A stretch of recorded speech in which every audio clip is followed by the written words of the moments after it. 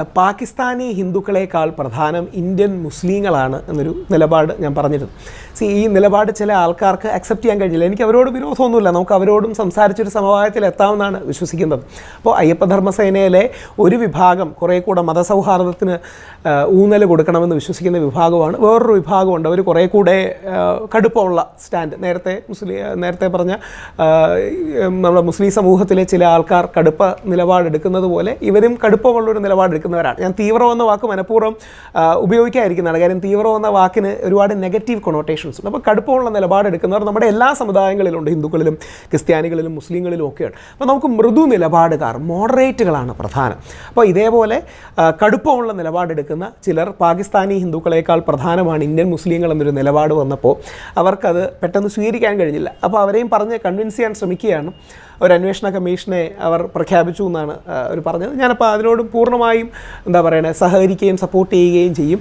C ആശയപരമായ വ്യത്യാസങ്ങൾ ഉണ്ടാകാം. പക്ഷേ അടിസ്ഥാനപരമായി നമ്മളൊരു നാട്ടിൽ ജീവിക്കുമ്പോൾ ഇന്ത്യയിലെ മുസ്ലിമിന് ഹിന്ദുവാണ് അല്ലെങ്കിൽ ഇന്ത്യൻ ഹിന്ദുവാണ് പാകിസ്ഥാനി മുസ്ലിമിനേക്കാൾ പ്രധാനം. അതേപോലെ ഇന്ത്യയിലെ ഹിന്ദുവിന് പാകിസ്ഥാനി ഹിന്ദുവിനേക്കാൾ ഇന്ത്യൻ മുസ്ലിമാണ് പ്രധാനം. അതാണ് ദേശീയത അതാണ് നാഷണലിസം അതാണ് രാജ്യസ്നേഹം. അപ്പോൾ ഈ നില ഒരുപക്ഷെ സ്വാമി അയ്യപ്പൻ എന്ന് ജീവിച്ചിരുന്നെങ്കിൽ ഈ നിലപാടെ അദ്ദേഹം ഉയർത്തിപ്പിടിക്കും. കാര്യം തന്റെ ഏറ്റവും നല്ല സുഹൃത്ത് മുസ്ലിം സമൂഹത്തിൽ പറഞ്ഞ ഫാത്തിമയുടെ മകനായ ഒരു വാവരാണ്.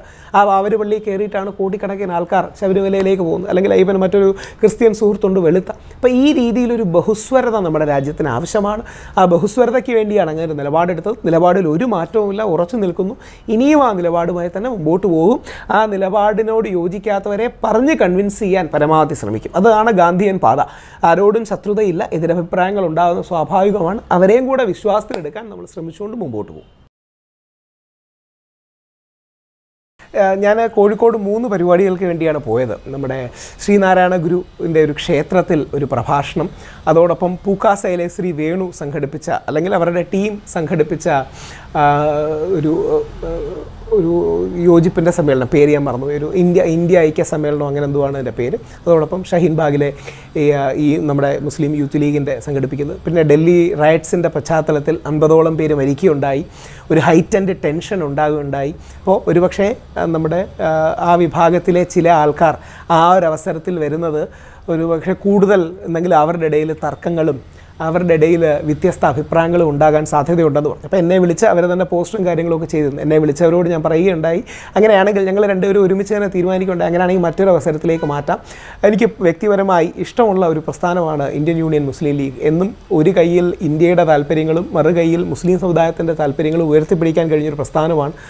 പാണക്കാട് തങ്ങൾ കുടുംബം പോലെ ആദരണീയനായ മുഹമ്മദ് അലി ഷിയാബ് തങ്ങൾ മുതൽ ഇന്ന് മുനവറലി തങ്ങൾ വരെയുള്ളവർ എന്നും ഈ ബാലൻസ് ഒരു സന്തുലനം കാത്തു സൂക്ഷിച്ചിരുന്നു. അപ്പോൾ അവരെ അവരുടെ ഒരുപാട് പരിപാടിക്ക് പങ്കെടുക്കാൻ എനിക്ക് അവസരം ലഭിച്ചിട്ടുണ്ട്. കഴിഞ്ഞ എന്റെ മുമ്പത്തെ വർഷമാണെന്ന് തോന്നുന്നു. പണക്കാട് തങ്ങൾ കുടുംബം സംഘടിപ്പിക്കുന്ന മതസൗഹാർദ്ദ സമ്മേളനത്തിൽ ഞാനും കണ്ണൂരിലെ അതിരൂപത ക്രിസ്ത്യൻ ബിഷപ്പുമായിരുന്നു അവിടുത്തെ ഗസ്റ്റ്.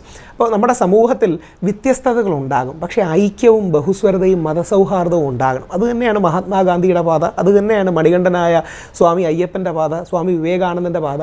അപ്പോൾ ആ രീതിയിൽ സമൂഹത്തിൽ ബിൽഡിംഗ് ബ്രിഡ്ജസ് ഉണ്ടാക്കിക്കൊണ്ട് പോകണം മറ്റൊരു അവസരത്തിൽ എങ്ങനെ പോകാം. ഒരുപക്ഷെ ഡൽഹി റയറ്റ്സിന്റെ പശ്ചാത്തലത്തിൽ എല്ലാ സമുദായങ്ങളിലും കുറച്ച് കടുപ്പമുള്ള നിലപാടുള്ളവരുണ്ട്. അപ്പോൾ അവരെ കൂടെ പറഞ്ഞ് മനസ്സിലാക്കാൻ നമുക്ക് സമയമെടുക്കും. അവരെ കൂടെ വിശ്വാസത്തിലെടുത്ത് അടുത്തൊരവസരത്തിൽ പോകാമെന്ന് കരുതുകയായിരുന്നു.